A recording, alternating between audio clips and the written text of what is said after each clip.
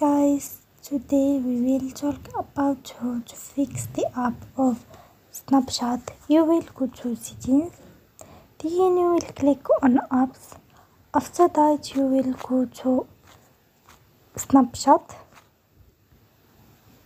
Then you will click on force stop. Then you will enter to start